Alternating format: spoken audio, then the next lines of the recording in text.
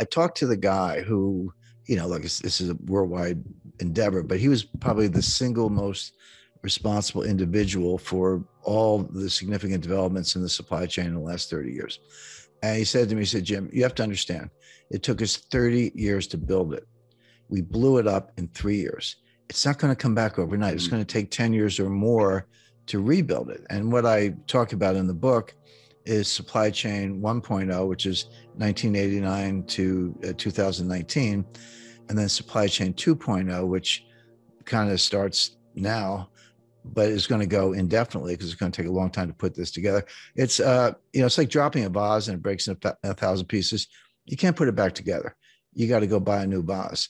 And that's what's going on with the supply chain. There will be a supply chain, there always is, but the new supply chain will look very different from what we've just come through. Because the whole the whole 30 years of period I'm describing was built on efficiency. You know, lower cost, lower cost, lower cost. It was kind of the Walmart model. So yeah, just-in-time inventory, everyone knows about that. But there's something called cross-docking. That's where a truck pulls up at a warehouse and you unload it instead of putting the stuff in the warehouse you move it to another truck that then goes to a destination. The stuff never goes in the warehouse. Inventories are very expensive. They're they're they're, they're costly to finance. You got to move the stuff around. It's called picking you know pick the stuff off the shelf with your i used to drive a forklift so i know a little bit about it uh, you know and put it on a truck I used to unload trucks too. Um, but um, so so you know hey i've got seven suppliers why don't I cut it down to three and do bigger contracts with each one and get lower unit costs? I've got five transportation lanes. Why don't I cut that down to two, get everything to you know Los Angeles and Seattle, as the case may be, you know, et cetera. And they, they did it for three, and they got costs lower, you know, and and Walmart and Amazon were the champions of this, but everyone else was doing it. But they missed something. What they missed was that there while they were getting those unit unit costs lower for consumers they there were hidden costs and the main hidden cost was you, you were creating greater frailty. This whole system was subject to a massive massive breakdown. So uh, you know what happens if you have two suppliers and they both go on strike? What happens if you have one port of entry and it's backlogged? What happens if um, uh, you, you, know you, you have got uh, cross docking and warehouses and there aren't enough trucks? There's 80 there are 80,000 we need 80,000 drivers, 80,000 drivers. Wish they'd hire them instead of these IRS agents. But the point being, um, it, it is breaking down all across the board. Now, will it, it can it be put back together? Yes, but the biggest difference between 2.0 and 1.0, um, this goes by different names. Uh, you know, Janet Yellen called it friendshoring, and Macron called it a constellation of nations. Uh, I I use the term a college of nations, you know, collegial club, if you will.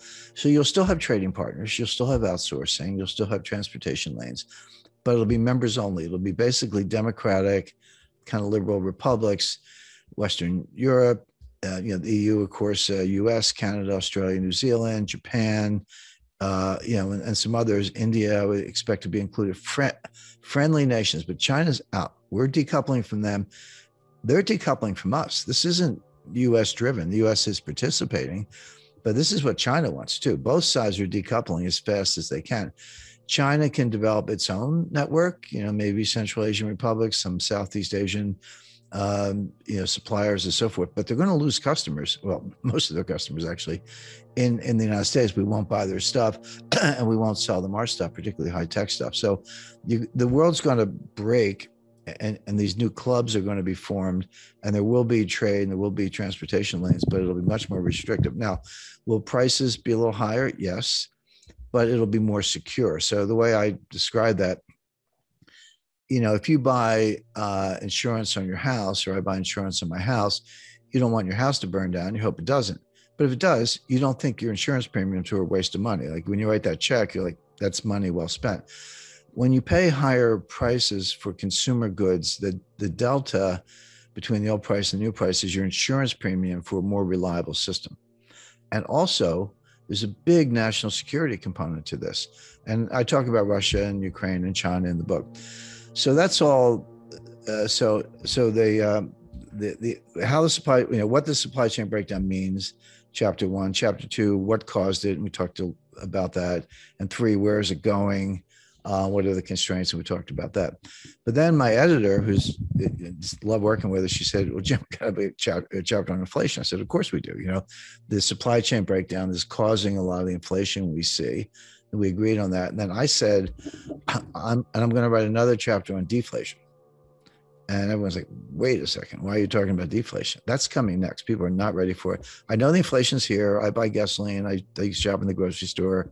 I get it. I'm not, it, it's, and it's persistent. It's not transitory. I understand all that. But inflation has two major sources. One is the supply side, which is called cost push inflation. So that's energy price shocks, you know, the stuff we're seeing coming out of Ukraine, fertilizer shortages, strategic metal shortages, um, uh, you know, component suppliers who can't deliver stuff to factories in Germany and they're shutting down, et cetera. The other cause is from the demand side, and that's called demand pull inflation. Basically, it's psychological. Consumers pull demand forward. They're like, hey, I was thinking of buying a refrigerator. I better buy it today because the price is going to go up in six months. And the 70s, we had both. It started with cost push with the Arab oil embargo, but it ended up demand pull. Um, I was starting my career at the time. They your boss would just give you a raise. You didn't even have to ask. You know, inflation was going up so fast. Like, I better give this guy a raise. Like, here's another, you know, thirty thousand bucks or whatever, because people would quit. You know, and uh, and that and that sort of spun out of control until Volcker squashed it all. Right now, we do not have uh, demand pull inflation. We don't. This, this is not what's going on. We do have cost push inflation. The difference is is hugely important because cost push inflation from the supply side, which is again when I talk about in the book, it's real. Prices go up, but uh, it's self-negating. You know the old saying that you know the cure for higher oil prices is higher oil prices, because when they get too high, people stop driving. They they shut down um, various activities. By the way, if you're unemployed, you're not buying any gasoline because you're not going anywhere.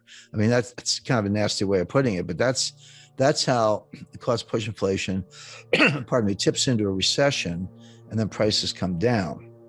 And we saw that in 1974. You know, you had Jerry Ford and Alan Greenspan walking around with their, they're these win buttons, uh, you know, WIN, was for whip inflation now, except we had a recession and prices collapsed. Uh, now it came back uh, by 77 with uh, for for a lot of reasons, but but right now we don't have demand pull, we have cost push. It will go away when this economy goes into recession, and then we're going to be talking about um, disinflation and deflation, which are, you know, kind of close cousins. And the Fed's going to be out on a limb as usual, raising rates in the face of a, a recession and a price collapse.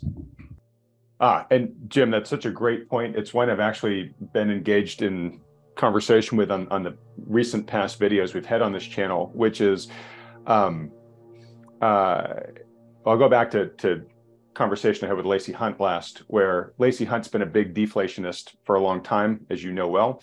In my last conversation with him at, at Wealthion's uh, recent um, uh, September conference, um, Lacey basically said, "Hey, look, Fed's doing what it has to do. It's got to actually prioritize killing inflation now that inflation's here." Um, and uh, you know, talked about the, the, the primacy of that being priority number one, two, and three right now for the Fed. Um, and then I asked him, I said, well, Lacey, you know, I've been talking to you for years, and you've been telling us that we have this massive deflationary drag into slay, and you don't really see how we're going to do that well, and that's why you're raising these warning bells. It's a big, big issue. But you're now saying there's this inflation dragon that's shown up, and so we got to focus all our attention on killing it.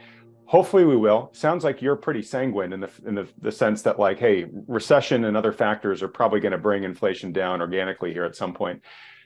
But even if we manage to do that successfully, we then still have this massive big inflation dragon to deal with. And it sounds like you're saying, hey, well, even though we're all focused on inflation right now, the bigger bad in the story is the deflation one.